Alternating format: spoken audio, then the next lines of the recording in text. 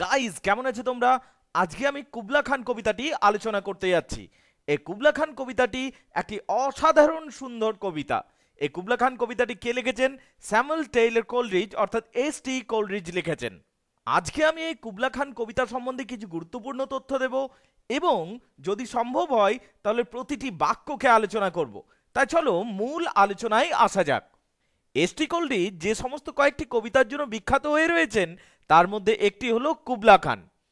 এই কুবলা খান কবিতাটির সম্পূর্ণ নাম হলো Kubla Khan or a vision in a dream a fragment S T Coleridge এই কবিতা রচনা করার পূর্বে আফিং সেবন করেন এবং স্বপ্নের মধ্যে তিনি কুবলা খান এবং কুবলা খানের রাজপ্রাসাদকে দেখেন।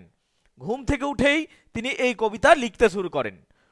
প্রসঙ্গত বলা বাহুল্য যে তিনি এই কবিতা সম্পূর্ণ করতে পারেননি। হ্যাঁ তোমরা ঠিকই শুনেছ। তিনি এই কবিতাটা সম্পূর্ণ করতে পারেননি। কবিতা সম্পূর্ণ হওয়ার আগেই কোনো একজন গুরুত্বপূর্ণ ব্যক্তি এসে পড়েন কোলরিজের বাড়িতে এবং সেই সাক্ষাৎকারের কারণবশত এবং অতিথি সেবার কারণবশত তিনি ব্যস্ত হয়ে পড়েন। ওই অতিথি চলে যাওয়ার পর তিনি যখন আবার টেবিলে এলেন কবিতা সম্পূর্ণ করার জন্য, তিনি ততক্ষণে কিন্তু স্বপ্ন ভুলে গেছেন। এটা বলা হয় যে, এই কবিতা লেখার আগে এসটি কোলরিজ কুবলা খান নিয়ে পড়াশোনা করছিলেন। এবং কুবলা খান চরিত্রটা নিয়ে তিনি ভাবছিলেন। ইতিমধ্যে আফিং সেবনও তিনি করেছেন। এই রকম পরিস্থিতিতে কখন যে তিনি ঘুমিয়ে পড়লেন তা তিনি নিজেও বুঝতে পারলেন না। তবে সেদিন তিনি স্বপ্নে কুবলা খান এবং কুবলা খানের রাজমহলকে দেখলেন এবং উপলব্ধি করলেন এবং ঘুম থেকে উঠে নিয়েই তিনি এই কবিতা রচনা করতে বসলেন। গাইজ, এই কবিতার একটা বিষয় কিন্তু তোমাদের খুব অদ্ভুত লাগতে পারে। এই কবিতার শিরোনামটিকে লক্ষ্য করো। এই কবিতার শিরোনামটি হলো কুবলা খান। এবং শিরোনামটি দেখে তুমি নিশ্চয়ই আশা করছ যে এই কবিতাটি নিশ্চয়ই কুবলা খানকে নিয়ে থাকবে। কিন্তু তোমরা এটা জেনে হতবাক হবে যে এই কবিতাটা যতটা না কুবলা খানকে নিয়ে, তার অনেক বেশি তার কুবলা খানের মহলকে নিয়ে। বস্তুত বলা যেতেই পারে যে এই পুরো কবিতাতে শুধুমাত্র কুবলা খানের মহলকেই বর্ণনা করা হয়েছে। কিন্তু সে যাই হোক না কেন অর্থাৎ এই কবিতার বিষয়বস্তু কুবলা খানের মহল হলেও বা, কুবলা খান সম্বন্ধে আমাদের একটা মূল ধারণা থাকা উচিত। অর্থাৎ কে ছিল এই কুবলা খান? কুবলা খান ছিলেন মঙ্গল সম্রাট চেঙ্গিস খানের পৌত্র, অর্থাৎ নাতি। তিনি নিজ দক্ষতার জোরে চীনের সম্রাট হয়েছিলেন এবং এখনও চীনে কুবলা খানকে একজন মহান সম্রাট হিসাবে ধরা হয়। যদিও জন্মগতভাবে তিনি চীনা বা চীনের বাসিন্দা ছিলেন না। তিনি নিজের বেজিং শহরকে নিজের প্রধান রাজধানী বানান। তবে তিনি গ্রীষ্মকালীন রাজধানী হিসাবে জ্যান্ডু শহরকে বেছে নেন। শারীরিক গঠনের দিক থেকে তোমরা যদি ভাবছ যে কুবলা খান একজন খুব শক্তিশালী এবং সুউচ্চতা সম্পন্ন মানুষ ছিলেন, তাহলে তোমরা ভুল করছ। কুবলা খান একজন মধ্য উচ্চতার মানুষ ছিলেন, কিন্তু তিনি নৃশংসতার দিক থেকে যে কোনো শয়তানকেও পরাস্ত করতে পারতেন। তিনি একজন বাস্তব জ্ঞানসম্মত সম্রাট ছিলেন এবং তিনি প্রথম কাগজের টাকার ব্যবহার শুরু করেন। তিনি যে সমস্ত সাম্রাজ্যগুলি জয় করতেন, সেই সমস্ত সাম্রাজ্যগুলিতে রক্ত এবং মৃত্যুর প্লাবন বইয়ে দিতেন। বারোশো পনেরোতে জন্ম হয় এই কুবলা খানের এবং মাত্র পনেরো বছর বয়সে কুবলা খানের পিতার মৃত্যু হয়। কিন্তু কুবলা খান এতে মোটেও প্রভাবিত হননি। অর্থাৎ খুব কম বয়স থেকেই তিনি নিজেকে এক দক্ষ সৈনিক হিসাবে এবং দক্ষ সেনাপতি হিসাবে প্রমাণ করতে শুরু করেন। কুবলা খানের চারজন সুন্দর স্ত্রী ছিল এবং অসংখ্য নারী সঙ্গ ছিল। কিন্তু এর পরবর্তী সময়ে তিনি সাম্রাজ্য বিস্তারে মন দেন এবং সৌভাগ্যের চাকায় এবং নিজের তীক্ষ্ণ বুদ্ধির জোরে তিনি এক বিশাল সাম্রাজ্যের অধিপতি হন। এখন যদি প্রশ্ন করা হয় যে কুবলা খান কবিতাটি কবে লেখা হয়েছে এবং কবে প্রকাশিত হয়েছে, তাহলে বলতে হয় যে কুবলা খান কবিতাটি লেখা হয়েছে সতেরোশো সাতানব্বই সালে এবং এটি প্রকাশিত হয়েছিল আঠেরোশো ষোলো সালে। কোলরিজ এই কবিতাটি প্রথমে প্রকাশিত করেননি, বরং তিনি নিজের ব্যক্তিগত সংগ্রহে এটিকে স্থান দেন। কিন্তু পরবর্তী সময়ে লর্ড বাইরন এই কবিতাটি প্রকাশিত করেন। এই কবিতাটি যখন প্রকাশিত হয়, তখন এই কবিতাটি পাঠক সমাজে দারুণ খ্যাতি লাভ করে।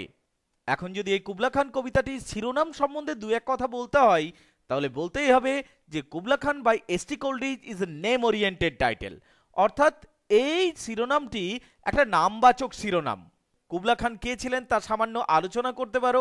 এরপর অবশ্যই বলো the title Kubla Khan is somehow misleading because the title indicates the fits and the fortune and adventure of Kubla Khan.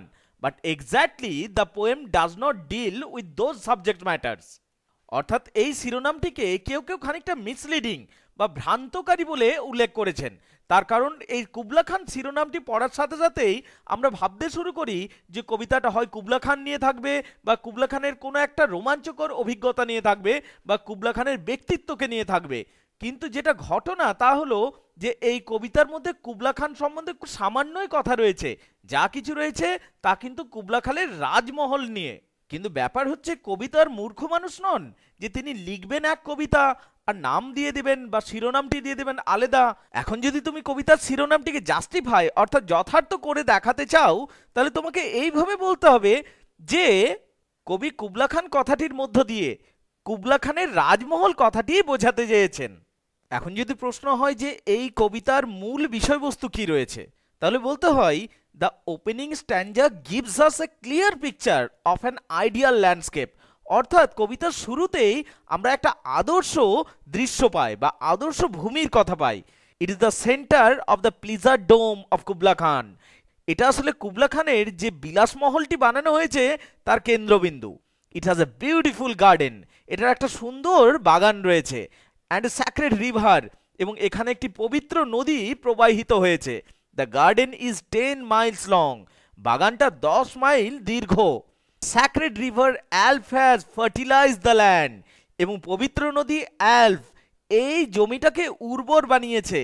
The land is bright with deep forest and green spot এই ভূমিতে গভীর জঙ্গল রয়েছে এবং সুন্দর জায়গা রয়েছে।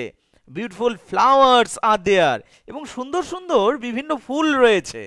It's a beautiful and romantic place এক কথায় বলতে গেলে, এটি একটি অতীব সুন্দর এবং রোমাঞ্চকর জায়গা।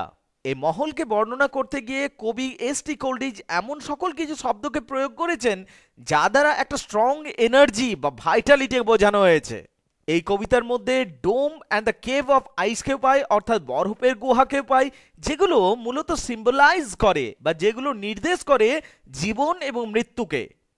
কুবলা খানের রাজমহলের মধ্যে যেমন গভীর খাদ রয়েছে সেই রকম রোমাঞ্চকর পাহাড়ও রয়েছে। আবার যদি কবিতার দ্বিতীয় ভাগে আসি, ওখানে কি দেখতে পাবো?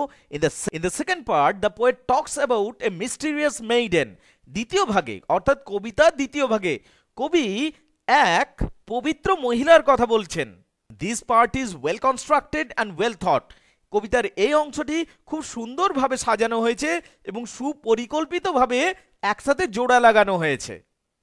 The beautiful lady is playing dulcimer এবং এখানে যে পবিত্র মহিলার কথা বর্ণিত রয়েছে, তিনি ডালসিমার নামক এক বাদ্যযন্ত্র বাজাচ্ছেন।